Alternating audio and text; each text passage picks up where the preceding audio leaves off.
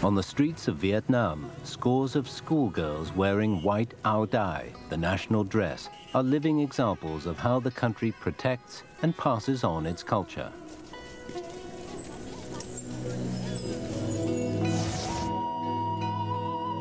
The origin of the ao dai can be traced back over 2,000 years. The earliest versions were a flowing garment consisting of four pieces of cloth.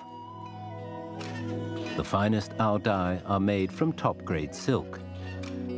But different versions can be worn for daily life or for important events.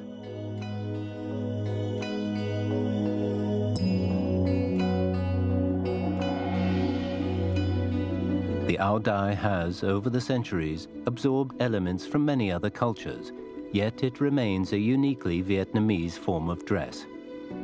It has its roots in the traditional local culture, but is also adapting to the times.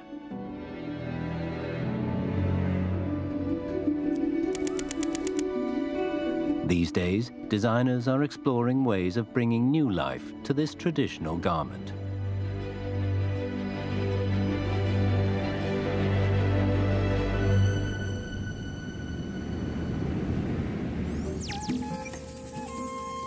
Indonesia.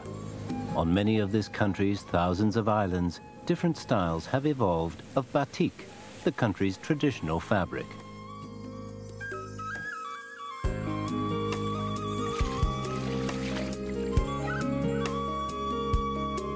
Batik is an important symbol of Indonesian culture. Although there are those who say it originated in Sri Lanka, most locals agree that it's uniquely Indonesian.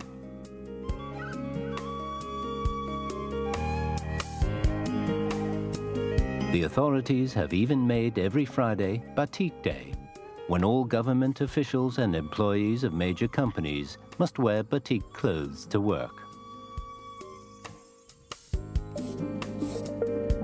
Using traditional skills handed down through the generations, artisans spend several weeks making a two-meter long piece of batik cloth.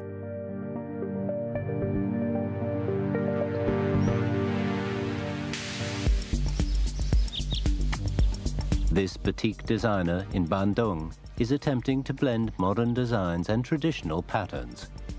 The fabric, once used exclusively for clothing, is now being adapted for bags and accessories, even high-heeled shoes, as well as other products designed with young people in mind.